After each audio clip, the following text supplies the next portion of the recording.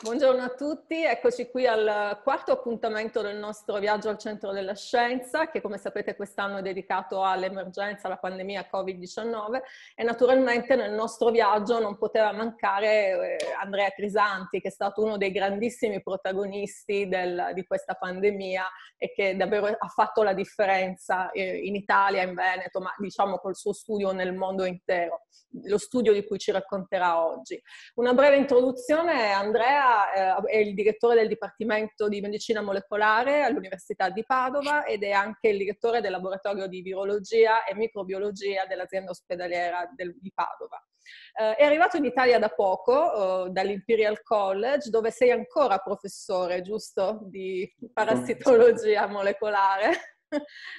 E, ed è stato uno dei pionieri eh, della biologia molecolare del vettore umano della malaria, Anopheles gambie. Uh, Andrea ha fornito davvero uh, dei, degli studi e dei contributi scientifici essenziali nello studio della malaria, uh, ha fatto appunto comprendere, ehm, progredire le conoscenze genetiche e molecolari sia del parassita sia del suo vettore e tutto questo ha portato allo sviluppo di nuovi approcci appunto per bloccare questa terribile malattia.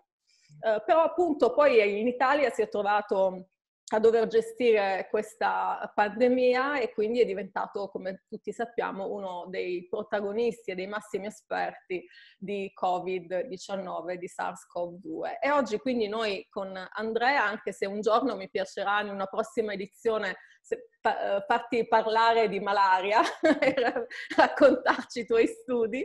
Uh, questa volta invece Andrea, uh, quello che vorremmo sapere da te, abbiamo tutti sentito parlare tantissimo di questo studio di Voi Euganeo, spiegaci che cos'è, raccontaci come è nato perché è così speciale così importante.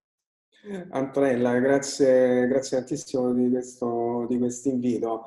E, e le, le tue, la tua introduzione in effetti poi ha evocato quella che è sempre stata la, la mia passione, cioè lo, eh, lo, sviluppo di mezzi di controllo per eradicare la malaria. Voglio proprio partire da questo perché eh, per me eh, questa esperienza è stata fondamentale perché in questi anni ho, ho dovuto e anche con grande piacere ho preso conoscenze di genetica, conoscenze eh, di evoluzione, di ecologia, di controllo sul campo di malattie epidemiche. Devo dire che senza questa esperienza non sarebbe mai nata Bo, eh, perché questa esperienza mi ha insegnato a vedere il problema delle, delle malattie diffusibili, quindi trasmesse sia per contatto sia attraverso i vettori in, in, da un punto di vista olistico, prendendo in considerazione tutti gli aspetti che determinano la trasmissione, piuttosto che focalizzare sul, sul virus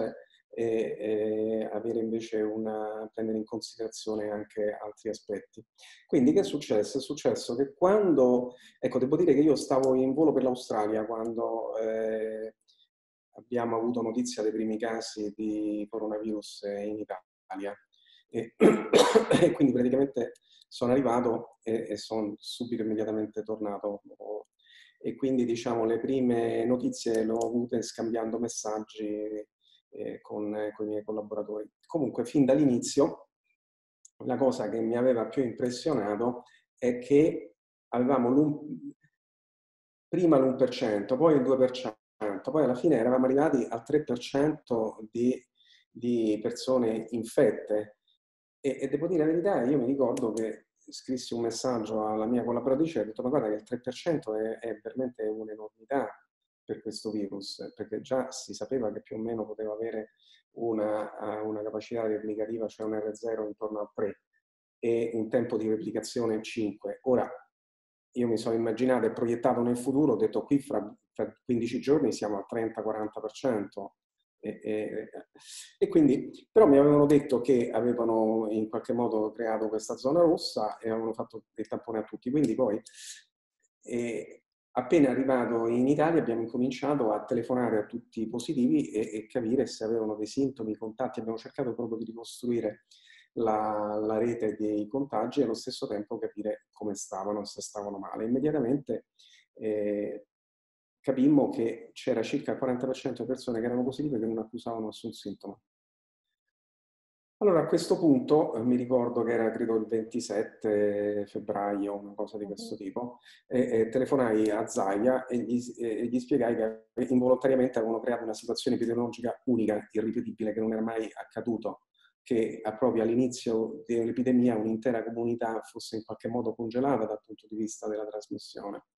E quindi gli dissi, guarda, qui vale la pena fare un secondo studio, perché così possiamo capire esattamente qual è l'impatto delle misure che sono state prese e verificare poi se ci sono altri casi di costruire puntualmente le catene di trasmissione. Fondamentalmente questo è stata, era il nostro obiettivo iniziale. Quindi noi praticamente i giorni 2, 3, 4 marzo ci siamo affrettati a fare il secondo campionamento a Vo perché c'era l'urgenza assoluta di liberare eh, eh, i cittadini di Vo e di farli ricongiungere all'Italia. Insomma, questa era l'esigenza del, politica del momento. E quindi una volta fatto il secondo campionamento ci siamo resi conto di una serie di cose veramente interessanti. La prima è che le misure adottate avevano ridotto, portato l'R0 da 3,6 a 0,2, quindi praticamente c'era stata una soppressione di quasi il 98%. E qui vorrei anche magari eh, aggiungere una nota importante, che gli abitanti di Vo, contrariamente durante il cosiddetto periodo di lockdown dell'Italia, non se ne stavano a casa, ma potevano tranquillamente circolare. Gli unici che stavano a casa erano quelli che erano stati identificati come positivi. Quindi questa è una, una lezione poi importante per capire... Però la, perché voi siete riusciti a identificare come perché positivi anche gli asintomatici. Certo, ah, sì. Eh, certo, li abbiamo identificati tutti subito, messi a casa e, e, chiaramente chi non si potevano muovere erano i positivi e i contatti stretti de, delle persone positive. Tutto il resto della, della comunità poteva tranquillamente interagire e circolare. Dopodiché ci siamo resi conto anche di un'altra cosa importante, e che questi asintomatici avevano una carica virale molto simile a quella dei sintomatici, praticamente non c'era una grossa differenza. Poi abbiamo, ci siamo resi conto che eh, c'erano otto nuove infezioni a Vo, in questo periodo, ci sono state otto nuove infezioni, la maggior parte dei quali totalmente di nuovo asintomatici, ma la cosa interessante è che noi abbiamo potuto esattamente ricostruire le catene di trasmissione in una situazione veramente molto più controllata, perché a questo punto tutte le persone stavano a casa e quindi era molto più facile stabilire le catene di, di contagio. E tre di questi nuovi positivi erano familiari di persone asintomatiche, o che convivevano con persone asintomatiche. Quindi non è la prima volta che in maniera formale viene in qualche modo non solo identificato l'asintomatico, non solo eh, analizzata la carica virale, ma anche dimostrato che sono in grado, sono in grado di trasmettere. Un'altra cosa importante che poi ci ha anche aiutato a capire anche la dinamica dell'infezione dopo il lockdown, che una persona che condivideva eh, la con una persona infetta aveva 100 volte più probabilità di infettarsi di una persona che invece viveva con persone sane. E, e questo e infatti ha... le infezioni familiari sono state un problema grave che non è stato affrontato forse nel modo corretto. Sì, guarda, di nuovo qui eh, appena ce ne siamo resi conto e, e, penso che pure tu magari sia stata anche parte di questi dibattiti, io avevo eh, in qualche modo evidenziato il fatto che tutta la trasmissione che avveniva dopo il lockdown, ti ricordi, dopo 15 giorni certo. di lockdown si aspettava che ci fosse un calo, invece questo calo non arrivava. Non arrivava perché c'era una riserva di persone all'interno delle famiglie e delle comunità che si stavano infettando.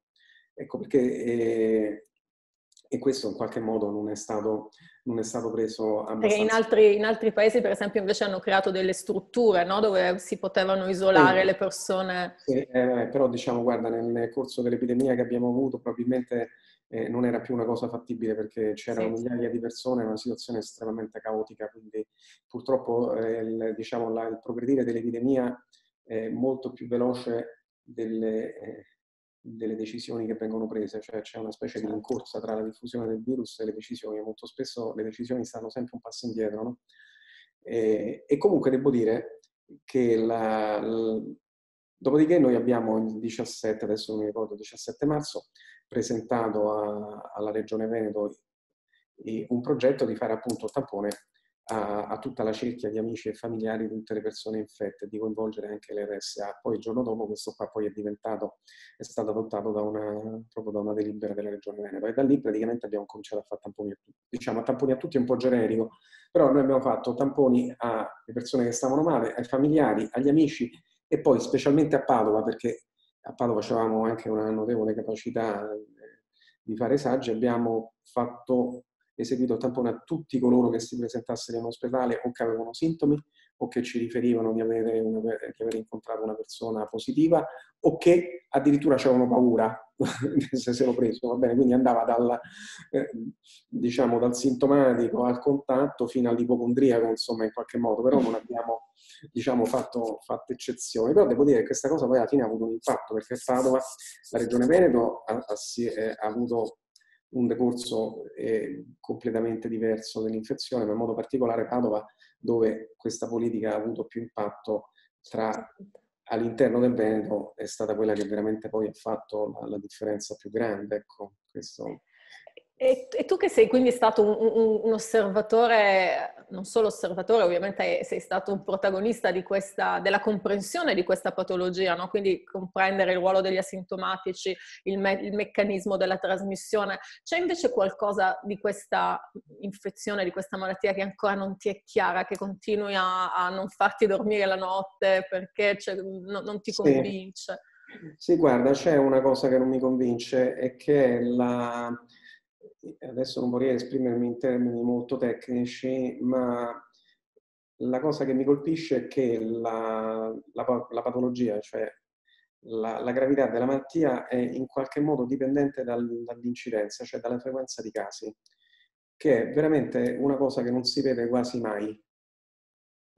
Guarda, fa, e qui devo aggiungere anche un altro piccolo particolare che, noi, eh, che adesso è emerso con la serologia, eh, perché poi abbiamo fatto un terzo campionamento a Vo, abbiamo prelevato il sangue con l'obiettivo di analizzare la risposta anticorpale e poi fare un'analisi genetica di tutta la popolazione. Ecco, da questa, mentre l'analisi genetica è ancora in corso, bisogna aspettare un pochetto, invece l'analisi sierologica è stata completata e ci ha permesso di identificare 63 persone che sono sempre state negative al tampone, ma che invece sono positive agli anticorpi. Quindi significa che queste persone si sono ammalate e guarite prima del 21 febbraio. Va bene? Mm. Allora, qual è la cosa interessante? Che di queste persone, otto sono sintomatiche e tutti gli altri sono asintomatici. Allora, quindi praticamente gli asintomatici passano dal 90% al 40%. E questa è una cosa veramente strana perché non, in genere eh, per, per, diverse malattie infettive c'è una frequenza più o meno fissa nella popolazione di persone che si ammalano, di persone che non si ammalano, di persone che muoiono, cioè c'è uno, un range, uno spettro certo. nella, nella sintomatologia che qui non vediamo e sembra che sia proprio dipendente dal numero di persone infette. Ora questo potrebbe essere dovuto a tantissimi fattori e stiamo cercando un po' di, capire, di capirlo. Va bene? Uno per esempio potrebbe essere la presenza di questi di questi che si chiamano alti diffusori, no? Certo, allora, dei super diffusori, sì. Allora, se uno assume che la frequenza di questi diffusori sia molto rara, tu devi raggiungere una certa soglia di trasmissione nella popolazione fino a che ne prendi uno e quello poi praticamente mette tantissimo virus e fa malare le altre persone. Quindi praticamente può essere benissimo che esistono due livelli di trasmissione, un livello di trasmissione basso che praticamente è mantenuto da persone che si trasmettono bassa carica virale e quindi tendono a rimanere più o meno asintomatici,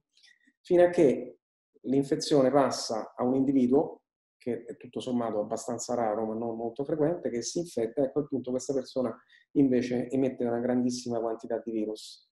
A quel punto una persona normale invece di entrare in contatto con una bassa carica virale viene inondato da una grossa carica virale e si ammala.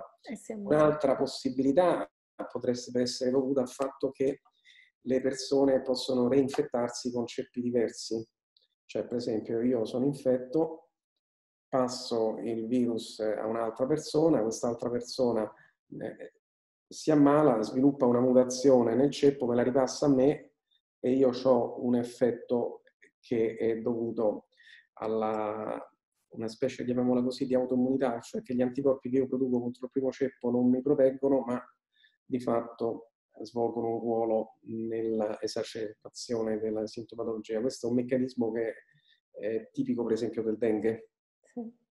E un'altra cosa eh, poi che abbiamo trovato sempre a Bo è che le donne e gli uomini si infettano con la stessa frequenza, ma le donne guariscono prima e si ammalano meno. Cioè, quello anche dal punto di vista statistico si era visto nel mondo che c'è effettivamente una minore... Però guarda, qui lo vedi, lo vedi in una maniera fantastica, perché tra il primo e il secondo campionamento, se tu fai la differenza di genere, vedi che nel primo campionamento non c'è differenza. Nel secondo, 15 giorni dopo, vedi che c'è differenza perché le donne sono, sono sparite perché sono guarite tutte. E questa indipendentemente dall'età. Le donne guariscono prima sia che hanno 80 anni, 90 anni, 70 anni, è indipendente dall'età. Cioè le donne eh, tendono a guarire molto prima e non è età dipendente. Quindi diciamo questo sicuramente è un altro aspetto molto interessante che abbiamo, che abbiamo evidenziato. Comunque alla fine poi l'altra cosa veramente sorprendente è che avendo fatto il tampone a tutti, avendo isolato i positivi, indipendentemente se erano sintomatici o asintomatici, poi alla fine non c'è stato più nessun caso a Vo. Quindi la ricetta per spegnere un focolaio, Antonella, ce l'abbiamo. Sì, sì, un focolaio piccolo sicuramente sì, è ovvio che la situazione come quella no, in Lombardia non no, era... Non era possibile, però adesso vedo con piacere che questa lezione è stata appresa come è stato circoscritto il focolaio della Bartolini, quello certo. di Roma. Vedo che si, adesso si sa che bisogna fare in questo modo. Ecco, questo, ecco, guarda, per esempio, l'intercettazione dei passeggeri del volo da Bangladesh è tipico sì. di quello che bisogna fare. Sì, sì, Io sono due settimane che predico che bisogna fare il tampone in aeroporto, a secondo una classificazione di rischio. E diciamo questi fatti di, di oggi mi hanno dato ragione, anzi sono contento perché dopo l'articolo che aveva uscito sul messaggero e, il ministro Speranza finalmente aveva detto sì va bene facciamo questa cosa, quindi insomma e, e questo è di nuovo è nella, un passo nella direzione giusta sì, infatti che ci mette, diciamo, non dico tranquilli, però ci fa affrontare con serenità questi eventuali focolai che si possono sviluppare. Molto bene, però questo retrospettivamente ci fa capire che, che occasione abbiamo perso a non testare i cinesi. Certo, certamente Cosa sì. che avevamo proposto è già il 3 febbraio, no? Allora, se, sono, se 25, 25 su un volo di, tre, di 300 persone e siamo all'8%, eh, tanto per dare una dimensione numerica, erano positivi, eh, perché non, non, devono essere nella stessa frequenza quelli che venivano da Wuhan a fine gennaio? Ovvio. Secondo me questo è un dato veramente importante perché ci fa capire esattamente quello che è successo. Sì, Significa sì. che 25 persone si sono messe su un aeroplano pensando di stare perfettamente bene. Sono arrivate alla frontiera, quasi nessuna di queste aveva la temperatura alta voglio dire, di, di, più di questa dimostrazione eh, non, non, riesco a no, immaginare no, ma senz'altro. Bisogno, ecco. Ma credo che, che, sia chiaro a tutti qual è stato il ruolo degli asintomatici e quale deve essere adesso il ruolo della, dei, dei, tamponi, del, del tracciamento, del, della, della, dell'identificazione eh, dei positivi immediata, se vogliamo rius- certo. evitare seconde ondate. Però uno dei grandi problemi dei tamponi è stato proprio anche la capacità di riuscire a fare tanti tamponi e di mettersi, cioè di, di, di, attivarsi, di trovare i reagenti, di trovare il personale. Cioè l'Italia ha avuto una crisi anche da questo punto di vista. E tu hai toccato un altro elemento importante. Guarda, noi fin dall'inizio abbiamo optato per un cosiddetto metodo fatto in casa, perché eh, eh, tu ricorderai che il, fecero scalpore i due eh, eh, i due pazienti, i due, due, turisti cinesi, ma noi all'epoca già avevamo il test pronto. No, il test pronto ce l'abbiamo credo dal 4, dal 4 febbraio, guarda, perché appena Imperial College e la mia collega, la Ilaria, pubblicarono il primo, il primo rapporto, eh, immediatamente quando me lo mandarono io tornai qui a, a Padova, che era il, pare sarà stato il 13-14 gennaio, avevamo già ordinato tutte quante le sonde, quindi noi in qualche modo eravamo preparati. È anche vero che il nostro è un laboratorio particolare perché è un laboratorio specializzato in, in eh, vigilanza di malattie emergenti, no? mm-hmm. e quindi malattie emergenti per definizione è una malattia di cui si sa pochissimo, non ci sta terapia, non ci sta vaccino e a malapena sai chi la trasmette. E, e quindi in qualche modo eravamo attrezzati anche a fare e a sviluppare test, chiamiamoli così, fatti in casa e quindi a non certo. aspettare la produzione industriale. Ecco, diciamo questo, tu considera che la produzione industriale ha approcciato il mercato praticamente in Italia 15-20 giorni dopo in termini significativi. Prima eh non sì. c'era niente. No, no, ma infatti è stato un gravissimo problema di, di tante altre città, altre, altri centri che non riuscivano a trovare proprio i reagenti per fare i test e che quindi eh, è stato un fattore limitante. Però una cosa che mi piacerebbe discutere con te è nel frattempo sono usciti degli approcci nuovi, nel senso se dovesse tornare una, ovviamente nessuno se lo augura, una, un'emergenza, dovremmo ancora usare quel tipo di sistema di diagnosi o eh. ci sono, sai, questi, questi, ho visto quelli con la saliva? Sì, guarda, quelli eh, con la saliva sono... Allora, io penso che in una, condizione, in una situazione epidemica, diciamo, anche i test a bassa sensibilità vanno bene. In una situazione di vigilanza, come siamo adesso, bisogna usare test ad alta sensibilità, quindi fa conto. Per screenare l'aereo che veniva da Bangladesh sarebbe stato un grave errore farlo certo. con test salivare, perché c'è un valore predittivo eh, positivo molto basso a basse frequenze, a basse prevalenze. Eh, quindi dipende chiaramente da, da diversa. Se c'hai un'epidemia e non c'hai nient'altro e quello ti prende il 70%, fa nulla, hai eliminato il 70%. Certo l'impatto ce l'hai in ogni caso, eh, dipende dalla, dalla situazione in cui tu eh, operi. Beh, in questo momento Fauci aveva proposto negli Stati Uniti di fare un pool, no? di mettere insieme più, più, tamponi e dicevano così se c'è il positivo poi andiamo indietro e andiamo a identificarlo. Sì. Ecco, guarda, questa è una cosa che noi all'inizio abbiamo deciso di non farla perché erano talmente tanti positivi che poi spacchettare i pool eh diveniva certo. un problema troppo grosso. Adesso che diciamo la prevalenza, cioè il numero di, di, persone, di casi positivi eh, su tutti i tamponi screenati è dell'ordine del, eh, mi pare che sia l'1 su 5, 1 su 2, 3 mila, e allora lo fai il pool, perché la maggior parte dei pool ti viene negativi, uno che ti viene positivo lo spacchetti, ma ne devi spacchettare esatto. uno, non devi spacchettare 30, 40 perché poi, sai, spacchettare questi pool dal punto di vista di laboratorio è un grosso problema, perché eh, ci devi implementare tutto il processo di tracciabilità, insomma non è... Diciamo, Ma infatti non lo stiamo facendo ancora, giusto? Ancora in Italia questo non si fa. No, guarda, no, lo, stiamo face- lo, stiamo facendo da qualche settimana a, a, a, diciamo a livello di pilota, uh-huh. per capire che problematica. Diciamo, allora dunque guarda, se tu diluisci 1 a 4, c'hai un cosiddetto perdita di un ciclo fondamentalmente, cioè il positivo passa da 34, 35 a 33, 34, quelli bassi positivi. Allora, in questa situazione non credo che sia un grossissimo, non credo che sia un grossissimo problema. Ecco. Quindi penso che in questa situazione si può fare. Però ecco, nel caso dell'aereo che arrivava da Bangladesh non l'avrei fatto, lo dico sinceramente.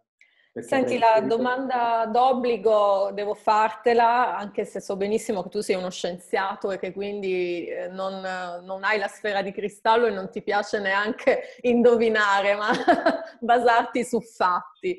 E, ma come, co, cosa ti aspetti nei, nei pro... Cioè, la, prima di tutto un giudizio sulla situazione di oggi, beh, mi pare che l'abbiamo dato, cioè è sotto controllo, è una situazione... Ma io penso che la situazione di oggi era in qualche modo prevedibile, tant'è vero sì. che avevamo già in più occasioni ipotizzato uno scenario caratterizzato da, piccoli cluster che necessitavano appunto di essere rapidamente e tempestivamente circoscritti e, e, e tracciati e sta accadendo più o meno questo fondamentalmente. Certo. Allora, il, il problema è che eh, io penso che in autunno e in inverno, considerando la dinamica della pandemia e proprio guardando quello che è successo con l'aereo del Bangladesh, pensando che noi siamo in una bolla di, è assolutamente utopico pensarlo, va bene? Quindi sicuramente avremo una, molti più di questi casi e anche con dimensioni più importanti. Ecco,